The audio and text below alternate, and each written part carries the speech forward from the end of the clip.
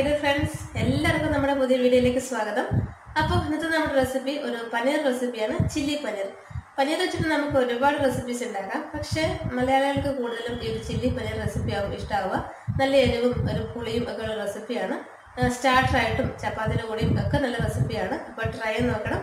പിന്നെ ആദ്യമായിട്ട് ആരെങ്കിലും നമ്മുടെ ചാനൽ കാണുന്നുണ്ടെങ്കിൽ വെൽക്കം ടു അവർ ഫാമിലി നമ്മുടെ ചാനൽ സബ്സ്ക്രൈബ് ചെയ്യാനും പിന്നെ തൊട്ടടുത്ത് കാണുന്ന ബെല്ലൈക്കൻ എനേബിൾ ചെയ്യാനും മറക്കരുത്. ബെല്ലൈക്കൻ എനേബിൾ ചെയ്താൽ മാത്രമേ നെക്സ്റ്റ് വീഡിയോയുടെ നോട്ടിഫിക്കേഷൻസ് നിങ്ങൾക്ക് കറക്റ്റായിട്ട് കിട്ടുള്ളൂ.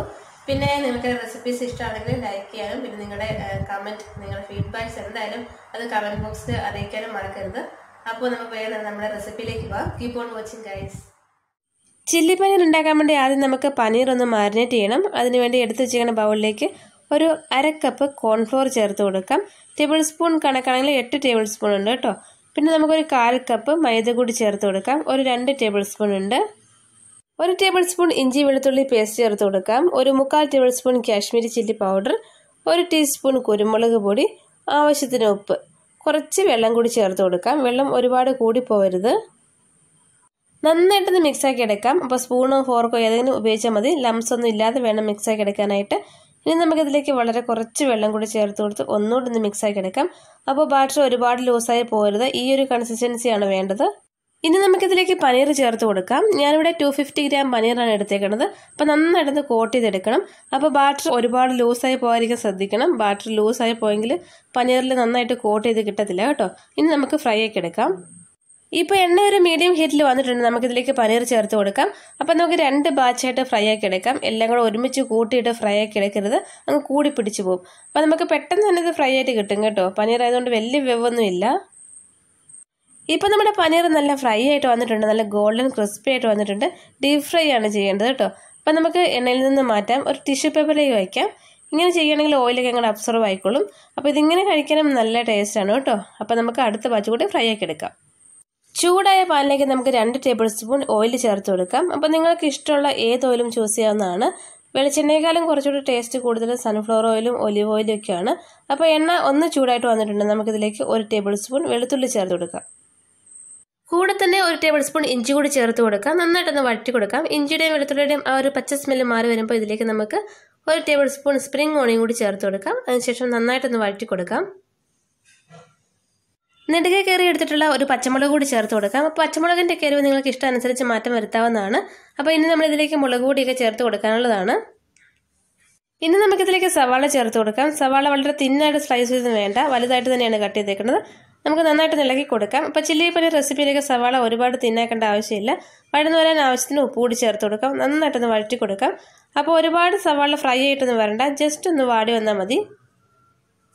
ഇപ്പോൾ സവാളയ്ക്ക് ഒന്ന് വാടി വന്നിട്ടുണ്ട്. ഇനി നമുക്കിതിലേക്ക് ക്യാപ്സിക്കം ചേർത്ത് കൊടുക്കാം.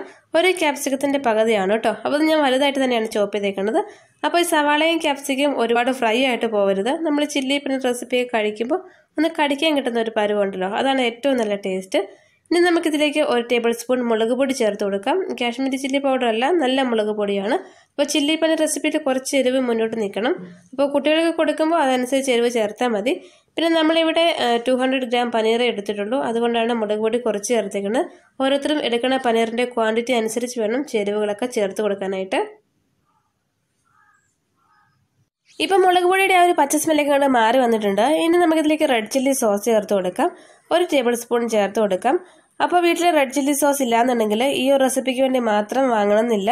നമുക്ക് വീട്ടിൽ തന്നെ റെഡിയാക്കാവുന്നേ ഉള്ളൂ. ഉണക്കമുളക് ഉണ്ടല്ലോ അത് നന്നായിട്ട് വെള്ളത്തിലൊന്ന് സോക്ക് ചെയ്ത് വെക്കുക അതിനുശേഷം മിക്സിയിൽ നല്ല ഫൈനായിട്ട് അരച്ചെടുക്കുക. ടൊമാറ്റോ സോസ് കൂടി ചേർക്കുക. അപ്പോൾ നമ്മുടെ ഹോം റെഡ് ചില്ലി സോസ് റെഡിയാണ് അത് ചേർത്ത് കൊടുത്താൽ മതിയാവും. പിന്നെ നമുക്ക് ഈ റെഡ് ചില്ലി സോസ് നമ്മുടെ ഈ ഒരു റെസിപ്പിയിലേക്ക് ചേർത്ത് കൊടുക്കുമ്പോൾ നല്ലൊരു കളർ കിട്ടും കേട്ടോ. അപ്പോൾ നമുക്ക് രണ്ട് മൂന്ന് മിനിറ്റ് ഒന്നുകൂടി ഇളക്കി കൊടുക്കാം. സിം ഫയറിൽ വെച്ചിട്ട് വേണം ഇളക്കി കൊടുക്കാനായിട്ട്. ഇനി നമുക്കിതിലേക്ക് ടൊമാറ്റോ സോസ് ചേർത്ത് കൊടുക്കാം. ഞാനിവിടെ രണ്ട് ടേബിൾ സ്പൂൺ ചേർത്ത് കൊടുക്കുന്നുണ്ട്. അപ്പം മധുരത്തിന്റെ അളവ് കുറച്ച് മുന്നിലേക്ക് നിൽക്കുന്നവർക്ക് കുറച്ചുകൂടെ കൂടുതൽ ചേർത്ത് കൊടുക്കാവുന്നതാണ്. നന്നായിട്ട് ഒന്നിളക്കി കൊടുത്തതിന് ശേഷം നമുക്കിതിലേക്ക് വിനിഗർ ചേർത്ത് കൊടുക്കാം.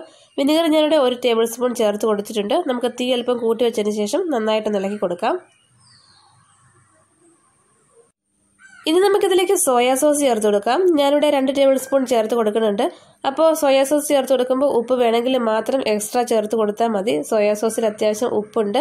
അപ്പോൾ ഈ ഒരു റെസിപ്പി അല്പം സോസേജസിന്റെ ഒക്കെ ഒരു റെസിപ്പിയാണ്. സോസേജൊക്കെ ഇല്ലാതെ നമുക്ക് റെസിപ്പി ഉണ്ടാക്കാം. പക്ഷേ ആ ഒരു റെസ്റ്റോറന്റ് സ്റ്റൈൽ പെർഫെക്റ്റ് ഔട്ട്പുട്ട് കിട്ടണമെങ്കിൽ ഈ സോസൊക്കെ ചേർത്ത് കൊടുക്കണം. അതില്ലാതെയും ഉണ്ടാക്കാം. അതനുസരിച്ച് ആ ഒരു ടേസ്റ്റ് കുറയുമെന്ന് മാത്രമേ ഉള്ളൂ.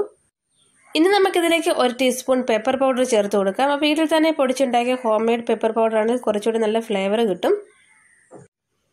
ഇനി നമുക്കൊരു ബൗളിലേക്ക് ഒരു സ്പൂൺ കോൺഫ്ലോർ ചേർത്ത് കൊടുക്കാം. കുറച്ച് വെള്ളം കൂടെ ചേർത്ത് കൊടുത്ത് നന്നായിട്ടൊന്ന് മിക്സ് ആക്കി എടുക്കണം. ഒരുപാട് വെള്ളം ചേർത്ത് കൊടുക്കരുത്. കട്ടകൾ നന്നായിട്ട് ഉടഞ്ഞു കിട്ടില്ല. നന്നായിട്ട് മിക്സ് ആക്കി എടുത്തതിന് ശേഷം നമുക്ക് പാനിലേക്ക് ചേർത്ത് കൊടുക്കാം. നമ്മുടെ ഗ്രേവി കുറച്ചൊരു തിക്കാൻ വേണ്ടിയിട്ടാണ് നമ്മളിങ്ങനെ ചെയ്യണത്. നന്നായിട്ട് രണ്ട് മൂന്ന് മിനിറ്റ് ഇളക്കി കൊടുത്ത് ഇതിൽ പച്ച സ്മെല്ല് മാറ്റിയെടുക്കാം. നന്നായിട്ട് കുറുകി വന്നതിന് ശേഷം കുറച്ച് വെള്ളം കൂടി ചേർത്ത് കൊടുത്തിട്ടുണ്ട്. ഇനി നമുക്കിതിലേക്ക് കുറച്ച് മല്ലിയില കൂടി ചേർത്ത് കൊടുക്കാം. നന്നായിട്ട് നിലക്കി കൊടുക്കാം. ഇപ്പം നമ്മുടെ ഗ്രേവി റെഡി ആയിട്ട് വന്നിട്ടുണ്ട്. ഇനി നമുക്കിതിലേക്ക് നമ്മൾ നേരത്തെ ഫ്രൈ ആക്കി നമ്മുടെ പനീർ ചേർത്ത് കൊടുക്കാം. പനീർ ഇപ്പോഴും നല്ല ക്രിസ്പി ആയിട്ട് തന്നെയാണ് ഇരിക്കുന്നത്. ഈവനായിട്ട് ഒന്ന് മിക്സ് ആക്കി എടുക്കാം. അപ്പോൾ നിങ്ങൾ ഉപ്പിന്റെ അളവൊന്ന് നോക്കണം. ഉപ്പ് കുറവാണെങ്കിൽ ചേർത്ത് കൊടുക്കണം.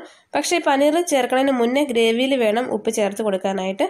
അപ്പോൾ ഞാൻ ചേർത്തേക്കുന്ന ഉപ്പിന്റെ അളവ് കറക്റ്റാണ് നമുക്ക് ഈവനായിട്ടൊന്ന് മിക്സ് ആക്കി എടുക്കാം. ഫ്ലെയിം അങ്ങ് ഓഫ് ചെയ്ത് കൊടുത്തേക്കാം. ഇനി നമുക്കിതിലേക്ക് കുറച്ച് സ്പ്രിംഗ് ഓണിയൻ ഒന്ന് വിതറി കൊടുക്കാം. അപ്പോൾ നമ്മൾ ഈ റെസിപ്പിയിലേക്ക് ഒട്ടും ഫുഡ് കളർ ചേർത്തിട്ടില്ല. ചില്ലി പൗഡറിന്റെയും സോസേജസിന്റെയും ഒക്കെ ഒരു കളറാണ് അപ്പോൾ നമ്മുടെ tasty chilli paneer recipe ready ആയിട്ടുണ്ട്. ചൂടോടെ തന്നെ നമുക്ക് സെർവ് ചെയ്യാം.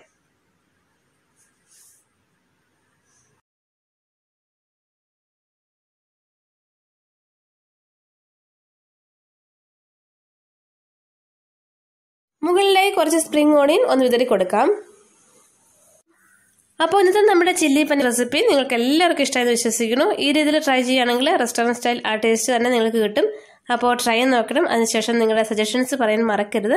ചപ്പാത്തിയുടെ കൂടെയും വെറുതെ കഴിക്കാനും ഒക്കെ നല്ല ടേസ്റ്റി റെസിപ്പിയാണ് അപ്പോൾ കുട്ടികൾക്ക് കൊടുക്കുമ്പോൾ കുറച്ച് നെരുവ് കുറച്ചതിന് ശേഷം കൊടുക്കുക. എന്തായാലും കുട്ടികൾക്ക് ഇഷ്ടമാകും സോസേജ് ചേർക്കുന്നതുകൊണ്ട് നല്ല ടേസ്റ്റിയാണ് അപ്പോൾ ആദ്യമായിട്ട് ആരെങ്കിലും നമ്മുടെ ചാനൽ കാണുന്നുണ്ടെങ്കിൽ ചാനൽ സബ്സ്ക്രൈബ് ചെയ്യാനും നിങ്ങൾക്ക് എന്റെ റെസിപ്പീസൊക്കെ ഇഷ്ടമാണെങ്കിൽ ലൈക്ക് ചെയ്യാനും പിന്നെ പ്രയോജനപ്രദങ്ങളൊന്ന് ഷെയർ ചെയ്യാനും മറക്കരുത്.